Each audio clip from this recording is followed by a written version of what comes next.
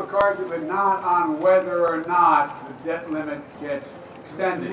There's no deal to be had on the debt ceiling. That's not negotiable. We will not negotiate. There's no negotiation to be had on the debt ceiling. We will not be uh, be doing any negotiation over the debt ceiling. This is not an issue that we will nego- negotiate on. There will not be uh, any negotiation around deep around uh, the debt ceiling. There's going to be uh, no negotiation over it. He has been very clear. Uh, we are not going to negotiate uh, over uh, the debt limit. We should pass the debt ceiling clean. That's where we're at. Suspend the debt limit without conditions. We're going to win this fight, and it's going to be a clean debt ceiling. Now, McCarthy, he can't pass a plan with cuts. On Capitol Hill now, the Republican led House has passed a bill to raise our nation's debt ceiling. You're not willing to play ball. Play they would say. ball.